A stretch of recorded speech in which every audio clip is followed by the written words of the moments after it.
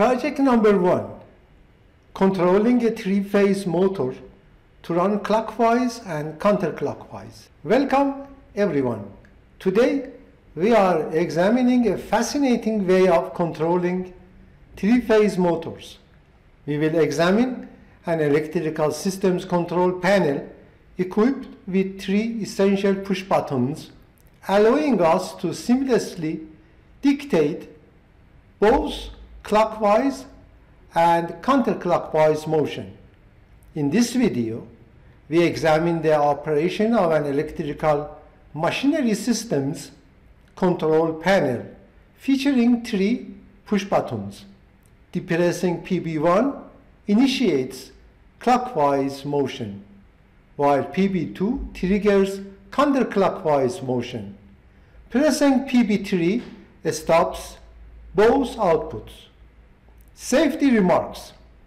Ensuring that both outputs CW or CCW cannot be activated simultaneously.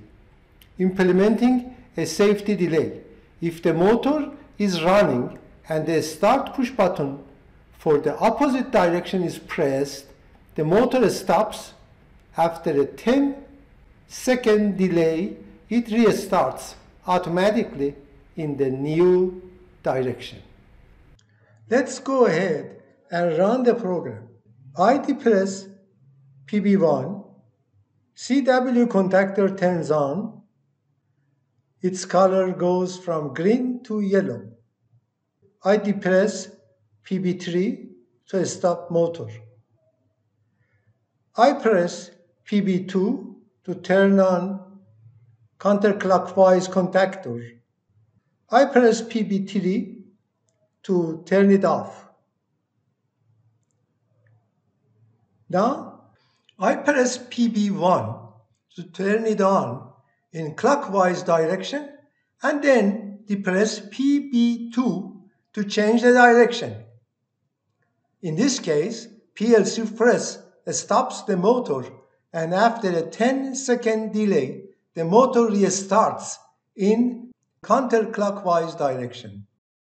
While the motor is on in counterclockwise direction, I depress PB1, then counterclockwise contactor turns off and after a 10 second delay, the motor restarts in clockwise direction.